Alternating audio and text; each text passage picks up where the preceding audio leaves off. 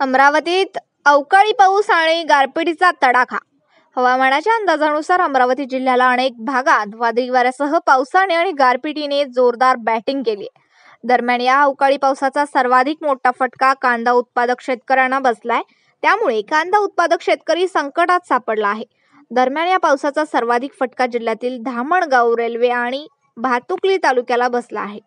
पूर्णानगर या गावातील शेतकरी उमेश महिंगे या शेतकऱ्याने दोन एकर शेतात कांद्याची लागवड केली होती मात्र या अवकाळी पावसाने आणि गारपिटीने त्यांच्या जवळपास एक ते दीड लाखाचा नुकसान झालंय. दोन एकर क्षेत्रावर माझा कांदा पीक लागवड केलं होतं. दीड लाख रुपये मला आतापर्यंत खर्च आला. काढणी सुरू झाली अवकाळी पाऊस आला. दोन लाख रुपयाची अपेक्षा होती येईल म्हणून. यावर्षी भाव कमी असल्यामुळे. पण त्या पावसामुळे पाऊस आणि वारा एवढा होता की ते झाकणंही शक्य नाही झालं. काही कांदा जमिनीत आहे काही कांद्याचे ढीग लागले आहे. पण त्या पावसामुळे पूर्ण ओला झाल्याच्यानं आता तो शंभर टक्के नुकसान झालं.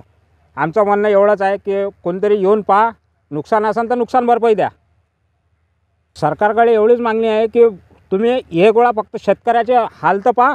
हाल पाहून आम्हाला मदत करा. तुम्ही ते प्रोत्साहनपर पन्नास हजार रुपये जे अनुदान देण्याचं म्हटलं होतं रेग्युलर शेतकऱ्यांना ते पण अजूनपर्यंत जमा झाले नाही. नुकसान तर काही अपेक्षाच करू नये. म्हणजे श- शेतकऱ्याचा कोणी वाली तरी उरलं काय? Bureau report. S B N Marathi Amravati.